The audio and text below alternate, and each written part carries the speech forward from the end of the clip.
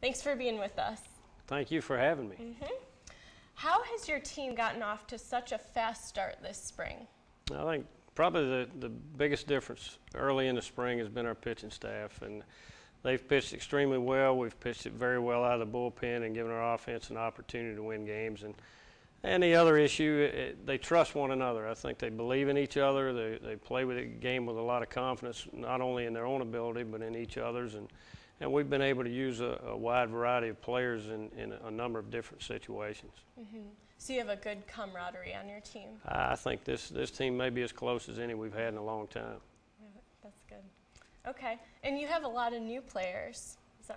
Um, how have they mixed in with the veterans? Uh, very well up to this point. Of course, uh, I think we have more new players than we have veteran players. In all mm -hmm. honesty, we have 16 new faces, and uh, wow. and they've uh, they've hopped on and uh, accepted their roles. Some of them have been been able to jump into starting roles for us on on certain occasions, and others are playing backup roles for us, and and are very happy and uh, with that situation, and, and knowing that you know if they continue to work, that eventually you know, whether it's this year or down the road, they have the opportunity to be everyday players as well.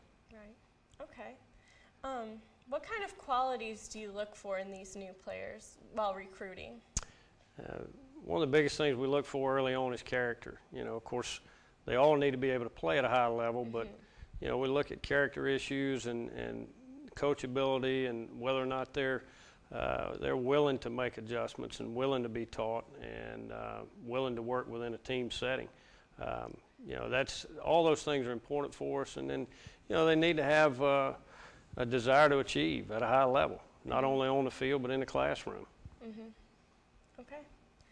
Um, what does it mean to you to have the CAA tournament here at Brooks Field? It's always an exciting time for us. We, we've been fortunate to have it here for I guess, the last six years, and the crowds continue to uh, get our players excited. Uh, right. You know, being able to play on your home field, which is something we're all used to, and, and maintain a similar routine, sleeping in the same bed and eating the same type foods and right. same places. Being able to maintain a routine while you're competing for a conference championship, I think, is uh, extremely important for us. Okay, yeah, that makes sense. Um, now, you will become the school's all-time winningest coach this season. What are some of your proudest moments since taking over the program?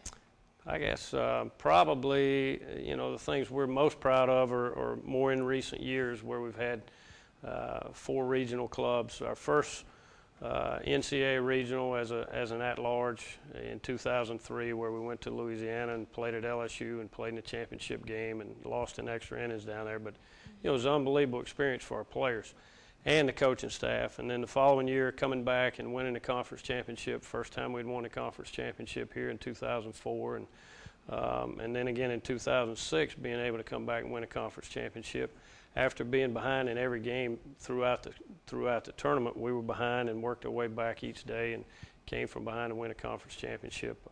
All those are you know are uh, big moments in in our program and uh, and then of course last year uh, you know setting a record for uh, the most wins ever in, in our program's history in a single season and you know playing in the championship game up in Cary against North Carolina in the regional tournament. Unfortunately, we came up a little bit short.